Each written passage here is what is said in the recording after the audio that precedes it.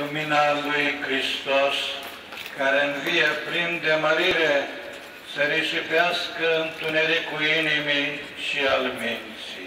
Slujba de la Catedrala Romano-Catolică din Iași a început în jurul orei 23, când un sobor de preoți a binecuvântat focul în curtea bisericii, apoi episcopul Petru Gergel a aprins lumânarea pascală și a împărțit lumina credincioșilor. Noaptea aceasta uh, este o legătură specială cu botezul, pentru că în botez noi am trăit învierea, în botez am fost înmormântați cu Hristos și am înviat împreună cu El. Slujba a durat aproximativ două ore. Eu sunt catolică și soțul meu este ortodox.